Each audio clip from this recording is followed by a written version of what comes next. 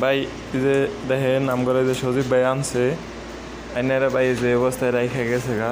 আজকা আমি আইছি, মনে করেন, পনেরো ষোলো দিন ধরে আর যে লোকটা আইছে দুই, তিন দিন পরে, বুঝছেন? না খাওয়াইয়া রাইখা গেছে। আমার কাছে একটা টেও নেই। যে টেয়াগুলো ছিল সবগুলো সজীবটা দিয়ে দিছি।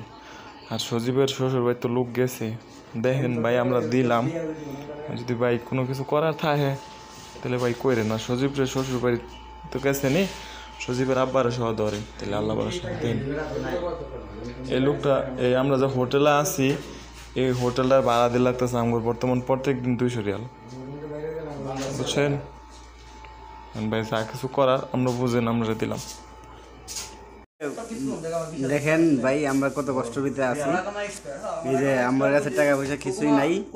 সবকিছু চক্রান্ত চক্র এক চক্র হাতি লয়ে গেছে কালার চক্র। হ্যাঁ, এই দেখেন আমরা এখন রাস্তায় গিয়া এক আরবির কাছ থেকে দশ টাকা চাই আইন না আমরা চাউল আর আলু ভর্তা আইন না ভাত খেতেছি। ঠিক আছে ভাই এই যে দেখেন এই যে লোকজন।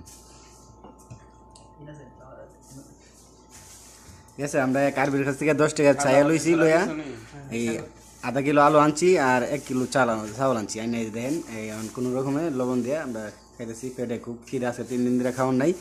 এই কালো চক্র আমাদের টাকা সব হাতিয়ে নিয়ে গেছে ভাই।